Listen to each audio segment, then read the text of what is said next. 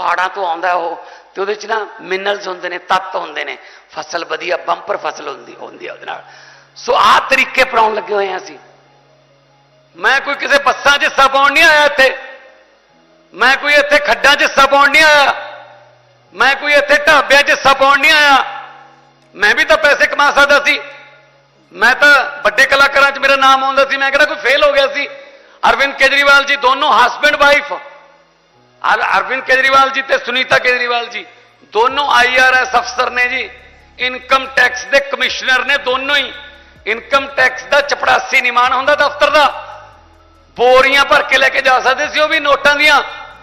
ਪਰ ਜਦੋਂ ਪ੍ਰਮਾਤਮਾ ਕੋਈ ਬਖਸ਼ਿਸ਼ ਕਰਦਾ ਕਿ ਭਾਈ ਤੈਥੋਂ ਆਹ ਕੰਮ ਲੈਣਾ ਫਿਰ ਉਹ ਉਹ ਦਾਤ ਜਾਂ ਉਹ ਬਖਸ਼ਿਸ਼ ਜਿਹੜੀ ਹੈ, ਉਹ ਡਿਊਟੀ ਜਿਹੜੀ ਹੈ, ਉਹ ਵਾਪਸ ਨਹੀਂ ਕਰਨੀ ਚਾਹੀਦੀ। ਉਹ ਉਹ ਕੀ ਪਤਾ ਪਰਮਾਤਮਾ ਤੁਹਾਨੂੰ ਕਿਹੜੇ ਰਸਤੇ ਰਾਹੀਂ, ਕਿਹੜੇ ਬਾਈਪਾਸ ਰਾਹੀਂ ਲਿਆ ਕੇ ਤੁਹਾਡੇ ਤੋਂ ਕਿਹੜਾ ਕੰਮ ਲੈਂਦਾ ਹੈ? ਕਈ ਵਾਰੀ ਪਰਮਾਤਮਾ ਕੋਈ ਇਹੋ ਜਿਹਾ ਕੰਮ ਕਰਾ ਲੈਂਦਾ ਕਿਸੇ ਬੰਦੇ ਤੋਂ ਕਿ ਉਸ ਤੋਂ ਬਾਅਦ ਪ੍ਰਧਾਨਗੀਆਂ, ਪੈਸਾ ਆ ਜਿਹੜੀਆਂ ਸਾਰੀਆਂ ਸਲੂਟ, ਜਿਹੜੇ ਉਹ ਸਾਰਾ ਕੁਝ ਥੱਲੇ ਰਹਿ ਜਾਂਦਾ ਮੇਰੇ ਤੋਂ ਇੱਕ ਕੰਮ ਐਸਾ ਕਰਾ ਲਿਆ। ਪਰਮਾਤਮਾ ਨੇ ਕਿ ਮੈਨੂੰ ਅੱਜ ਕੋਈ ਇਸ ਗੱਲ ਦਾ ਫਿਕਰ ਨਹੀਂ ਕੱਲ ਨੂੰ ਆਉਂਦੀ, ਅੱਜ ਆ ਜੇ।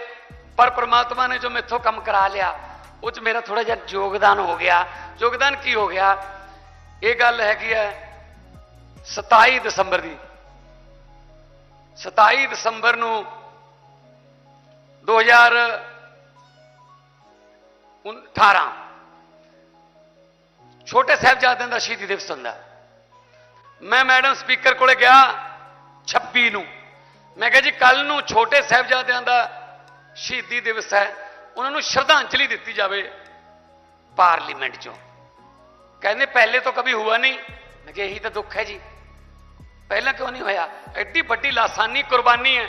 5 ਤੇ 7 ਸਾਲ ਦੇ ਸਹਿਬਜ਼ਾਦਿਆਂ ਨੇ ਈਨ ਨਹੀਂ ਮੰਨੀ ਤੇ ਨੀਹਾਂ ਚਣਵਾ ਤੇ ਸੂਬਾ ਸਰਹੰਦ ਨੇ ਸ਼ਰਧਾਂਜਲੀ ਦੇਣੀ ਚਾਹੀਦੀ ਹੈ ਤਾਂ ਕਿ ਆਉਣ ਵਾਲੀਆਂ ਪੀੜ੍ਹੀਆਂ ਨੂੰ ਪਤਾ ਲੱਗੇ।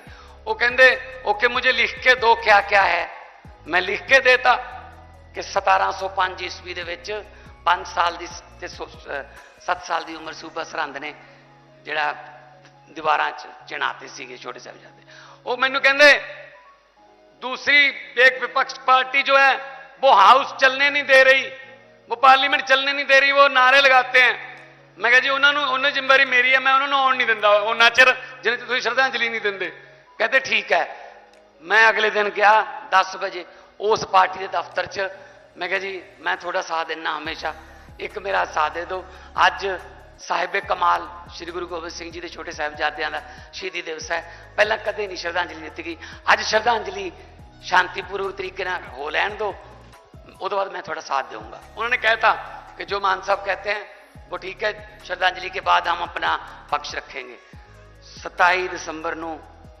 11 ਵਜੇ ਸਭਾ ਸ਼ੁਰੂ ਹੋਈ, ਤਾਂ ਤੁਸੀਂ ਅੱਜ ਵੀ ਦੇਖ ਸਕਦੇ ਹੋ ਟੀਵੀ ਤੇ ਪਿਆ ਉਹਦਾ ਰਿਕਾਰਡ ਪਹਿਲੀ ਵਾਰ ਹੋਇਆ ਕਿ ਛੋਟੇ ਸਾਹਿਬਜ਼ਾਦਿਆਂ ਨੂੰ ਸ਼ਰਧਾਂਜਲੀ ਔਨ ਰਿਕਾਰਡ ਦਿੱਤੀ ਗਈ।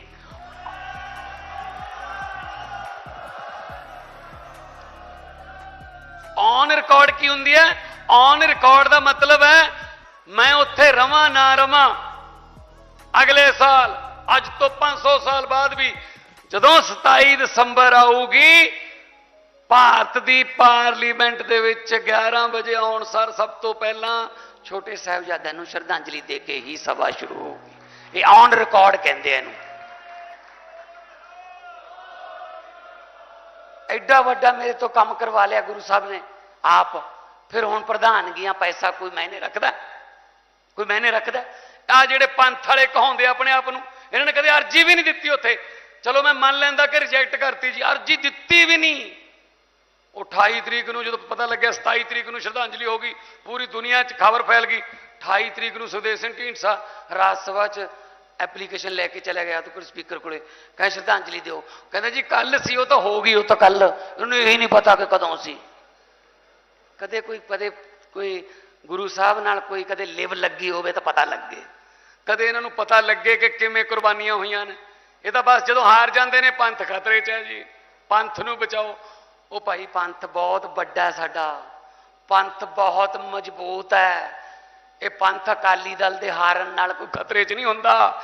ਤੁਸੀਂ ਆਪਦੀ ਫਿਕਰ ਕਰੋ। ਆ ਹੁਣ ਉਤਰੇ ਫਿਰਦੇ ਨੇ। ਪਰਿਵਾਰ ਬਚਾਓ, ਕਿਹੜਾ ਪੰਜਾਬ ਬਚਾਓ। ਤੁਸੀਂ ਦੇਖ ਲਓ, ਇਹ ਕਿੰਨੇ ਕੁ ਪੰਜਾਬ ਪ੍ਰਤੀ ਵਫਾਦਾਰ ਨੇ। ਜਾਂ ਕਿੰਨੇ ਕੁ ਪੰਜਾਬ ਲਈ ਕਸ਼ਟ ਝੱਲ ਸਕਦੇ ਨੇ? ਇਹ ਗੱਲ-ਗੱਲ ਤੇ ਕਹਿੰਦੇ ਨੇ ਨਾ, ਕੁਰਬਾਨੀਆਂ ਦੇਣੀਆਂ ਨੇ, ਕੁਰਬਾਨੀਆਂ ਦਿੱਤੀਆਂ ਨੇ। ਉਹ ਜਿਹੜੀ ਕਾਰ, ਜੀਪ, ਜਿਹੜੀ ਕਾਰ ਦੇ ਉੱਤੇ ਬੈਠਣ ਲੱਗਿਆ, ਜਿਹੜੀ ਗੱਡੀ ਦੇ ਉੱਪਰ ਬੈਠਣ ਲੱਗਿਆ, ਸੁਖਬੀਰ ਬਾਦਲ, ਉਹਦੇ ਉੱਤੇ ਛੱਤ ਪਾ ਲਈ। ਤਾਂ ਕਿ ਮੈਨੂੰ ਧੁੱਪ ਨਾ ਲੱਗੇ। ਤੇ ਮੂਰੇ ਵਲੰਟੀਅਰ ਮੋਟਰਸਾਈਕਲ ਤੇ ਐਦਾਂ ਹੀ ਨੇ। ਫਿਰ ਜਾਂ ਤਾਂ ਕੱਲੇ ਕੱਲੇ ਮੋਟਰਸਾਈਕਲ ਤੇ ਛੱਤ ਪਵਾ, ਭਰਾਵਾ। ਨੇ ਤੂੰ ਕੱਲਾ ਹੈ ਫਿਰ, ਧੁੱਪ ਤੈਨੂੰ ਹੀ ਲੱਗਦੀ ਹੈ ਕੱਲੇ ਨੂੰ। ਵੀਰੋ, ਇਹ ਟੈਂਪਰੇਚਰ ਪੁੱਛ ਕੇ ਤੁਰਨ ਵਾਲੇ ਬੰਦੇ ਨੇ ਕਿ ਕਿੰਨਾ ਟੈਂਪਰੇਚਰ ਹੈ? ਸਰ 40 ਹੈ। ਓਕੇ ਜਦੋਂ 35 ਰਹਿ ਗਿਆ, ਦੱਸਿਓ, ਉਦੋਂ ਪੰਜਾਬ ਬਚਾਉਣ ਚੱਲਾਂਗੇ। ਲੈ, ਬਚਾ ਲਓ ਪੰਜਾਬ ਇਹਨਾਂ ਤੋਂ। ਸੋ ਇਹਨੇ ਇਹਨਾਂ ਦਾ ਕੀ ਲੈਣਾ ਦੇਣਾ ਨਹੀਂ ਇਹਨਾਂ ਦਾ ਆਪਣੇ ਨਾਲ ਕੋਈ, ਇਹਨਾਂ ਦਾ ਕੋਈ ਆਪਣੇ ਨਾਲ, ਆਪਣੀ ਜ਼ਿੰਦਗੀ ਨਾਲ ਕੋਈ ਮੇਲ ਨਹੀਂ ਖਾਂਦੀ ਕੋਈ ਚੀਜ਼। ਨਾ ਇਹਨਾਂ ਦਾ ਰਹਿਣ ਸਹਿਣ ਆਪਣੇ ਨਾਲ ਮਿਲੇ। ਮੈਂ ਕਿੱਦਾਂ ਦਾ ਕਹੀ ਜਾਣਾ ਯਾਰ ਤੁਸੀਂ ਪੰਜਾਬ ਦੇ ਬਹੁਤ ਵੱਡੇ ਹਤੈਸ਼ੀ ਹੋ। 100 ਚੋਂ 33 ਵਾਲਾ ਪਾਸ ਹੁੰਦਾ ਚਲ ਮੈਂ 25 ਕਰ ਦੇਣਾ ਅੱਜ ਮੋਗੇ ਤੋਂ 20 ਕਰ ਦੇਣਾ ਚਲ। ਵੀ 100 ਚੋਂ 20 ਨੰਬਰ ਪੰਜਾਬੀ ਦੇ ਪੇਪਰ ਚੋਂ ਲਿਖਤੀ ਟੈਸਟ ਚੋਂ ਲੈ ਕੇ ਪਾਸ ਕਰ ਲੈਣ। ਬਾਜਵਾ, ਜੋ ਸਿੱਧੂ, ਮਜੀਠੀਆ, ਸੁਖਬੀਰ ਬਾਦਲ, ਲੈ 100 ਚੋਂ 20 ਨੰਬਰ ਪੰਜਾਬੀ ਚੋਂ ਲਿਖਤੀ ਟੈਸਟ ਦੇ ਵਿੱਚੋਂ ਲੈ ਲੈਣ 20 ਨੰਬਰ। ਮੈਂ ਮੰਨ ਜੂਗਾ ਪੰਜਾਬ ਦੇ ਵੀ ਬਹੁਤ ਤੈਸ਼ੀ ਨੇ। ਨਾਲੇ ਚਲੋ ਐ ਕਰਦੇ ਆ। ਥੋੜਾ ਜਿਹਾ ਪੇਪਰ ਵੀ ਲੀਕ ਕਰ ਦਾਂਗੇ।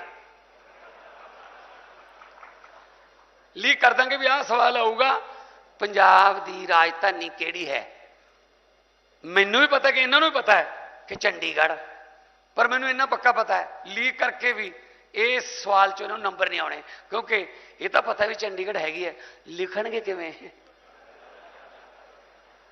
ਅੱਛਾ ਇਹਨਾਂ ਨੇ ਪਾ ਦੇਣਾ ਚੱਚੇ ਨੂੰ ਟਿੱਪੀ ਡੱਡੇ ਨੂੰ ਬਿਹਾਰੀ ਗਾਗਾ ਡਾੜਾ ਗੱਗਾ ਡਾੜਾ ਹੈ ਨਾ ਇਹ ਵੀ ਗਲਤ ਹੋਊਗਾ ਕਿਉਂਕਿ ਦੇ ਪੈਰ 'ਚ ਹਾਹਾ ਪੈਂਦਾ ਇਹ ਪੈਰ 'ਚ ਹਾਏ ਹੋਏ ਵਾਲੇ ਕਿੱਥੇ ਨੇ? ਇਹ ਤਾਂ ਯੂ ਮੀ ਯੋ ਨੋ ਥੈਂਕ ਯੂ ਆ ਤਾਂ। ਸਾਨੂੰ ਕਹਿੰਦੇ ਮਟੀਰੀਅਲ ਕਿਹੋ ਜਿਹਾ ਆ ਗਿਆ ਹੈ? ਔਰ ਸਾਡੇ ਜਵਾਕ ਜਿੱਤਿਆ ਏ। ਕਹਿੰਦੇ ਕਿਹੋ ਜਿਹਾ ਮਟੀਰੀਅਲ ਆ ਗਿਆ, ਕਿਹੋ ਜਿਹਾ ਮਟੀਰੀਅਲ ਆ ਗਿਆ। ਉਹ ਭਾਈ ਮਟੀਰੀਅਲ ਤਾਂ ਤੁਸੀਂ ਹੋ। ਹੁਣ ਤੱਕ ਕਿਸੇ ਨੇ ਪੁੱਛਿਆ ਹੀ ਨਹੀਂ ਤੁਹਾਨੂੰ। ਸੋ ਇਸ ਕਰਕੇ ਪੰਜਾਬੀਓ, ਪੰਜਾਬ ਦੇ ਨਾਲ ਖੜੋ। ਹੁਣ ਵੇਲਾ 2 ਮਹੀਨੇ ਪੰਜਾਬ ਦੇ ਨਾਮ ਲਾ ਦਿਓ। ਆ ਜਿਹੜੇ ਥੋੜਾ ਬਹੁਤ ਵਿਸ਼ਜਾ ਘੋਲਦੇ ਨੇ ਆ ਸਹਿਕਦੇ ਜੇ ਨੇ, ਇਹਨਾਂ ਦਾ ਕੰਮ ਕਰੋ ਖਤਮ। ਉਹ ਤੋਂ ਬਾਅਦ 1 ਜੂਨ ਨੂੰ ਤੁਹਾਡੀ ਜ਼ਿੰਮੇਵਾਰੀ ਖਤਮ ਤੇ ਮੇਰੀ ਸ਼ੁਰੂ। ਉਹ ਤੋਂ ਬਾਅਦ ਮੈਂ ਦਿਖਾਉਂਗਾ ਕਿ ਪੰਜਾਬ ਸੋਨੇ ਦੀ ਚਿੜੀ ਕਿਵੇਂ ਬਣ ਸਕਦਾ ਹੈ।